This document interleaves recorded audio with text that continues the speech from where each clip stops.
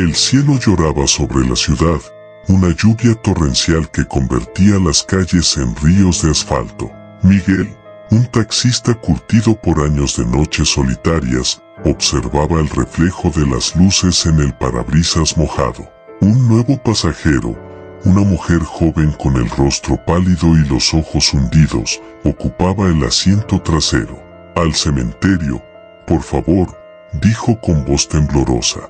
Miguel encendió el motor, sintiendo un escalofrío que nada tenía que ver con la fría noche. El camino al cementerio era corto, pero la mujer no decía nada. Su silencio era pesado, inquietante.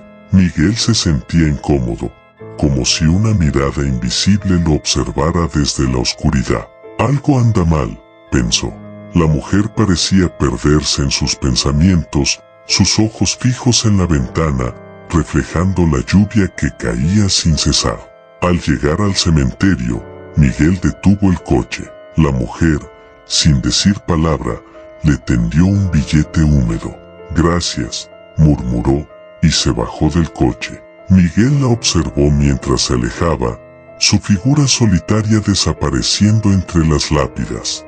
No pudo evitar sentir una punzada de curiosidad, un deseo de saber por qué una mujer joven visitaba un cementerio a esas horas. De pronto, sintió un escalofrío que le recorrió la espalda. Era como si una mano fría le hubiera tocado el cuello. Se giró, pero no había nadie.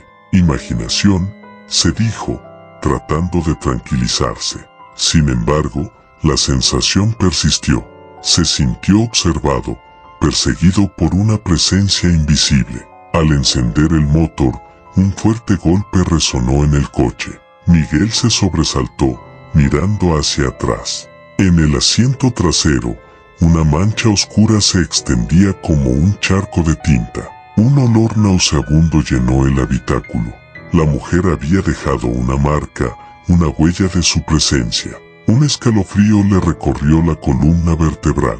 Esa noche, Miguel conduciría con la ventana abierta, sintiendo la lluvia fría en su rostro, pero no pudo librarse de la sensación de que algo lo seguía, una sombra invisible que lo acechaba en la oscuridad.